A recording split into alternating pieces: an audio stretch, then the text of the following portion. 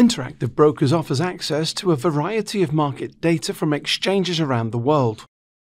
IBKR client accounts come with delayed market data free of charge, but investors can quickly and easily subscribe to real time market data from around the world, which will be immediately available for use with a few mouse clicks.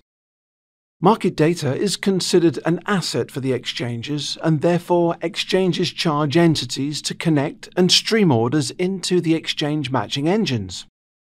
They also charge investors for the privilege of seeing orders that set bid and ask market prices. The data is billed on a complex sliding scale depending on several factors, including whether the investor qualifies as a professional or non professional. Interactive Brokers simply acts as a pass through entity, facilitating the delivery of data and carrying through the payment to the exchange. Other brokers may offer free market data to their clients. However, they make up the cost by typically charging higher service fees in other areas, such as custody, account minimums, commission minimums, or financing costs. Please note that depending on the IBKR account type of the subscriber, there are account equity minimums that must be met in order to subscribe and maintain the subscriptions. The minimum equity requirements are listed on the IBKR website, and the account must have sufficient equity to cover the minimum requirement plus the cost of the desired subscriptions for the data to be active. Further information on the available market data subscriptions and the pricing can be found on the IBKR website. To subscribe to market data in the portal, click the Head and Shoulders icon in the upper right corner and click Settings. On the User Settings sections on the right side, select the Market Data Subscriptions button. Subscriptions the investor is currently subscribed to will be reflected in the current GFIS subscriptions table along with the associated price. To manage the market data, click the Configure Gear icon. The subscriptions are broken out by market location, reflected as tabs, and each tab has subsections underneath to categorize the available subscriptions.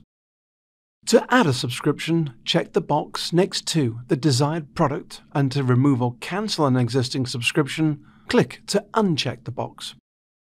When ready, click Continue to review the selected subscriptions and acknowledge and sign any applicable agreements and disclosures.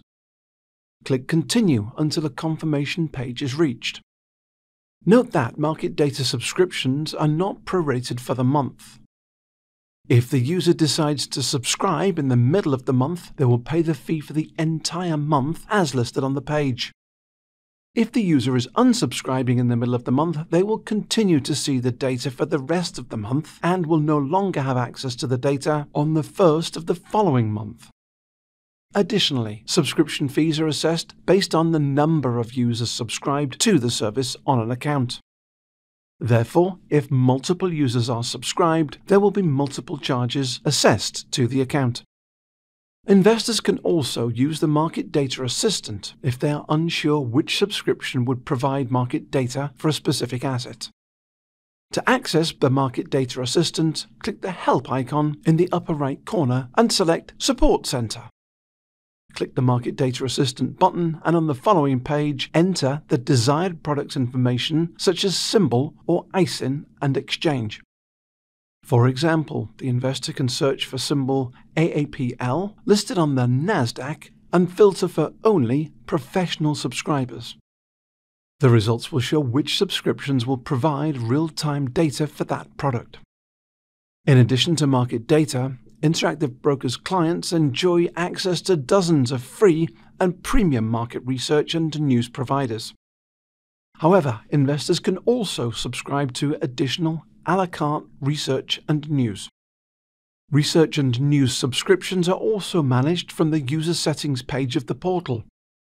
Under the Trading Platform section, select Research Subscriptions click the Configure Gear icon, and the list of available research and news providers will populate. Click the blue information icon to the right for more information on a particular subscription. Check or uncheck the box to the left of the desired research or news subscriptions, and click Continue until a confirmation page is reached. For more information on the research or news offerings, please see our website.